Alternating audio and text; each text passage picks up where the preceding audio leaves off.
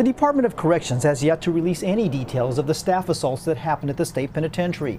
The Inspector General of Correction tells KETV News Watch 7 that four staff members were injured in what he called multiple events.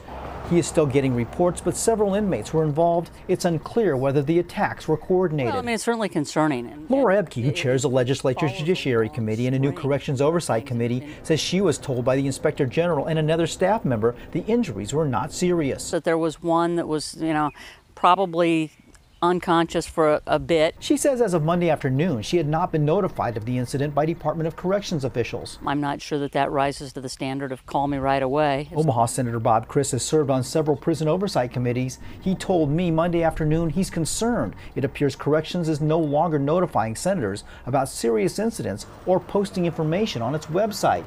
Krist said, quote, what are we trying to hide or disguise? When a state employee is hurt and that is not reported, that is dangerous grounds. Corrections officials also did not respond to inquiries by KETV News Watch 7 last week about a fire at the Tecumseh prison on May 25th.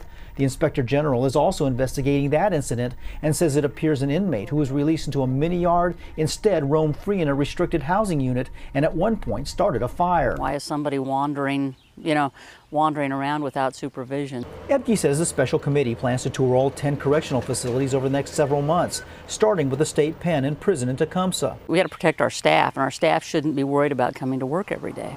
In Lincoln, Andrew Ozaki, KETV, News Watch 7.